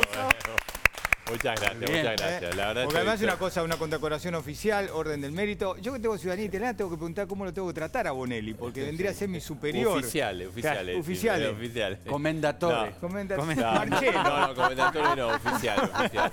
No, la verdad estoy... estoy- Marchelo, a partir de ahora. Marchelo, sí, Marchelo. sí, me dijo el embajador que a partir de ahora es Marchelo. Mirá que, mirá que yo te empiezo a decir claro. todos los Para mí ya miércoles, es mi ¿eh? superior dentro del No, rango no, de la para República nada, Italiana. No, no, la verdad estoy muy No, contento estamos, y ahí además te es estamos una- viendo, está tu un- familia. Una gran nietos, tu alegría. esposa, Son esas hija. cosas te, viste, te, te ponen energía, ¿no? Sí, la verdad Así que felicitaciones, le- Les Marcelo. agradezco muchísimo a, a la, a la gente Y de la embajada. el poder de convocatoria que tuviste, porque me Sí. dijeron que estuvieron todos. Y cuando digo todos, todos. Bueno, bueno. Este, toda gente amiga, amiga. ¿eh? Bueno, así que ya muchísimas- Todos te sabes. quieren saludar, Marcelo. Muchísimas gracias. Por eso Gerardo, yo te voy a demostrar que yo también sé interpretar personajes. Sí. Como ese, gorilas y payos de Tarico. Sí. Con fe, con esperanza, con optimismo. Eh, la verdad, Marcelo, lo felicito porque usted es una persona eh, que siempre está al lado de la gente, de lo que siente la gente. Así que por eso, como hoy. Hoy estuvo en gobierno usted. Estuve reunido con Frigerio, que es un Ya. amigo. Y habló con Mauricio, ¿no? Y por eso le propuse una serie de medidas y por eso, Marcelo, te propuse como mi ministro de Economía. Así que. Ah, no, no, no, deja. La Yo idea- quiero seguir acá con Sí, Edgardo y con No, pero Marina. Con... La idea es que, que me acompañe, Marcelo, porque esto lo- yo no tengo ni idea de economía, vos Porque sabés. Scioli también es Scioli, ¿no? Scioli es Scioli. italiano. Scioli, Scioli, Scioli. como decía Pañi, que decía acá ¿Qué? Daniel Scioli. Sí, sí. Chao, bu- buena notte. Buenas noches. Tiene que venir a, do- a dos voces, tiene que venir. eh. Claro. Io voglio stare in a due voci. Me salió bien, Marcelo. Bien, le salió muy bien, Muy bien, muy bien. Bueno, Parece- escúchame una cosa, Uh, compañero. acá, Se va a pudrir, porque No, la semana pasada con con Farela. dijo- Farela. me dijo Farelia que estaba todo controlado. No ¿Qué- puede le ser, dijo? ¿Quién le compañero. dijo? Me dijo que estaba todo controlado, dije que la que causa estaba- estaba tranquila. Pasó una semana y casi me allanan, me hacen un quilombo. Acá se va a pudrir la cosa en serio, compañero, ¿eh? Con Farela, Acá, agárrese. acá, acá, Farelia acá, esa. acá, Farelia. acá, acá vamos a sacar los camiones, todo, todo, todo, todo, todo. No, ¿Qué no amenaza? quiero- ¿Qué amenaza? No es una amenaza, es una advertencia, Marcelo. es una Si se meten conmigo, con el Pablito, que pobre, es tan bueno, va a haber quilombo. El salvaje. Va a haber quilombo, va a haber quilombo. Campana. va a haber quilombo. Yo le quiero decir al presidente que más que 10 puntos necesitamos 4, que son desayuno, almuerzo, merienda y cena. Sí, sí, sí. Me voy a juntar con Ricardito Alfonsini y los dos vamos a salir de gira a invitar a nuestros padres. Linda dupla, Va ¿eh? mañana a la Sí, feria, ¿eh? Sí, va a ser el vice de Cristina. Sí, sí, sí, sí. Así nos radicalizamos más. Sí, sí, sí. El problema del peronismo es que no tiene un verdadero líder. Y yo me propongo como el único líder del peronismo, Marcelo. Que sería como una evolución. O sea, el barbarismo. Que sería mi hija Carmela y yo. Porque sería la forma, la síntesis completa. Porque ella es medio kirchnerista, yo soy más peronista de Perón. Entonces los dos no funcionaríamos y haríamos el peronismo del siglo XXI. Muy bien. Bien, Ahí está. muy bien, muy Muy bien. bien, ¿Te gustó? Tarico, muchas gracias. Soy, soy bueno imitando, soy mejor que ese Mejor. cipayo gorila de Tarico. Puede Sí, ir al teatro sí. y cobrar Y más si no caro. se ríen, después la llamo a Patricia Bullrich, así le hace cosquilla con una pistola Taser. Gracias. Cipayo. Bueno, nos tenemos que ir. Está Franco Merculián. Sí, sí, Después. sí. Sí. Bueno, Otro. Como siempre. nuestro- Gorila. Nuestro compromiso. Acá tirás una banana al piso y no cae, ¿eh? Ah, Gorilas. ah, qué Bueno. susto que me dio. Sí. Nos vamos, nos tenemos que ir, Gerardo. Sí. Por- bueno. ¿Podemos dale. irnos, por Dale, favor? Dale, Dale. nuestro compromiso con ustedes. Date. Dale, dale, dale. Dame la Ustedes mano. en la mano.